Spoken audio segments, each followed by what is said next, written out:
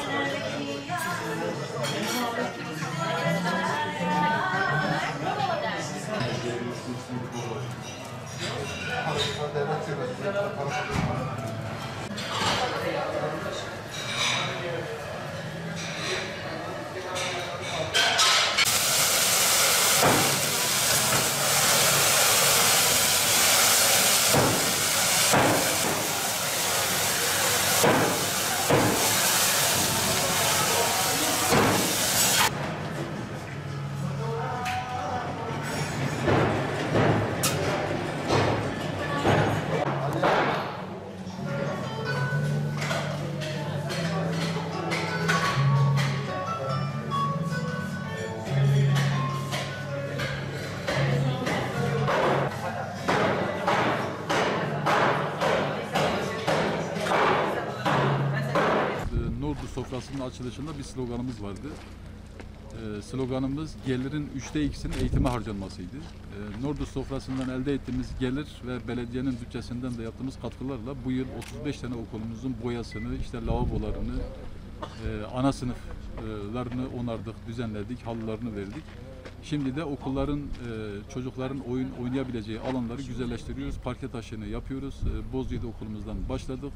Parke taşı yaptığımız her köyde mutlaka okullarımızın bahçesini parke taşıyla döşüyoruz ve daha temiz, daha hijyen bir e, duruma getiriyoruz. Yani her şey çocuklarımız ve bizim geleceğimiz olsa miniklerimiz içindir. E, onların geleceği için çalışıyoruz. Bütün çalışmalarımız, belediyenin tüm çalışmaları gelecek nesiller içindir. Gelecek nesillerimize daha refah, daha huzurlu, daha güzel, daha hijyen bir ortam bırakmak içindir.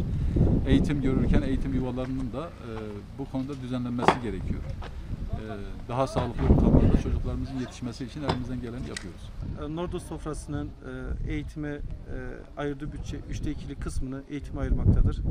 Ve bu şekilde okullarımızın birçok ihtiyacı karşılanmaktadır.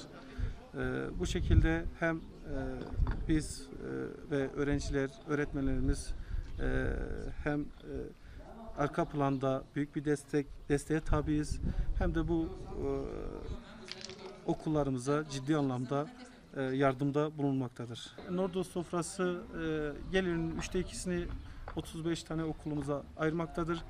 Bu şekilde de okullarımızın boya badana, çevre düzenlemesidir. Diğer eğitim ihtiyaçlarını karşılamaktadır. Bu da bizleri mutlu etmektedir. Kendilerine çok teşekkür ediyoruz. Yani benim tabii bunlardan haberim yoktu.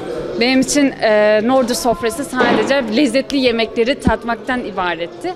Ama bunları öğrendikten sonra Norduz'un benim için sadece bir yemekten ibaret olmadığını anladım. Daha sık gelmek isterim. Bunu arkadaşlarıma da önereceğim. Çünkü Norduz'da bir yemekten çok daha fazlası var. E, özellikle şu eğitim konusunu öğrendikten sonra e, aşırı derecede mutlu oldum. Çok sevindim. Bir öğrencinin hayatına dokunmak ciddi anlamda çok güzel e, çok güzel bir duygu. Kalkıp da 35 e, okula yardımcı olması zaten e, başlı başına çok güzel bir olay.